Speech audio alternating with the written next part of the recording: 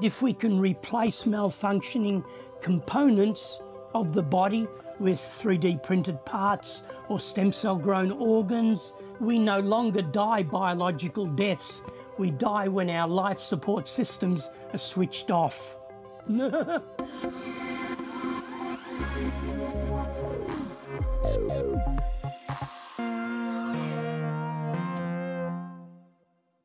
Welcome to season four of Art and Technology. I'm again joined by pioneer Stelarc and artist Neil Harbisson. Given that you know each other already, what excites you about each other's work? Well, I think Neil is an articulate proponent and embodiment of a cyborg construct. With the antenna, you can translate one sense into another sense, which is very seductive, as are his numerous artistic outcomes.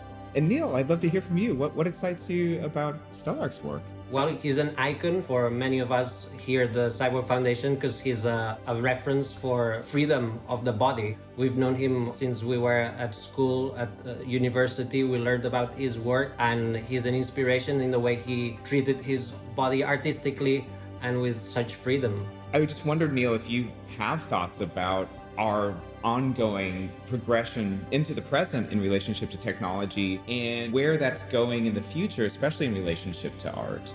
I think we are slowly becoming trans species, which is breaking the traditional definition of a human, and uh, we will be able to decide which organs and senses we want to have, and that will create trans species identities within our society. And um, I guess now are using technology like this type of technology, but uh, genetic modification for the addition of new sensors will be more practical. Also, if this antenna can be 3D printed with my own DNA, it will look organic. So I think the, the image people will have of wires and chips and metal merged with a human is something that we might only see during this century, but in the future centuries, it will look much more organic.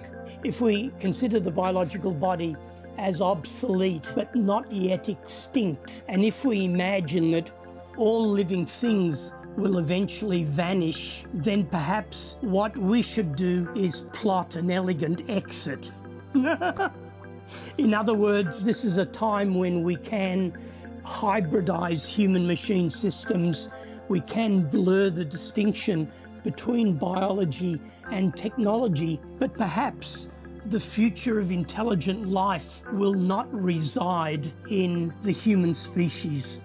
Thank you so much. Truly, I mean, it's been really great getting to, to speak to you both today. Thank you. Bye. Thank you very much. Hyundai Motor, connecting art and technology.